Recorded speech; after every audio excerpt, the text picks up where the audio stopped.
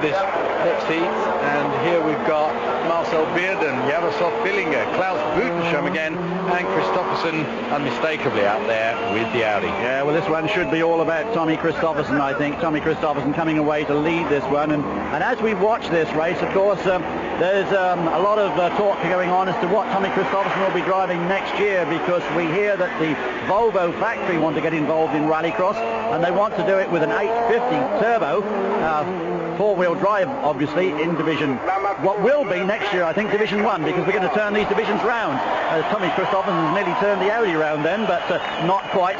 Um, but uh, Tommy wants, I think, to maybe take advantage of the offer he's had from Volvo. He's very, very reluctant to leave Audi, and Audi would be very reluctant, I think, to lose him. So we don't know at the moment what Tommy would be driving next year. It's great to know that Volvo are coming back into the sport. Remember, they have previously won the European Championship many years ago with Per Inge Walfridsson. But whichever team does not get Tommy Kristoffersson, then I think that the team will find a big queue of drivers outside the factory gates waiting to see if they can get a drive. Absolutely, and it's showtime today out there for Kristoffersson. The crowd are whistling and cheering him on and he's just chucking that magnificent Audi around the circuit.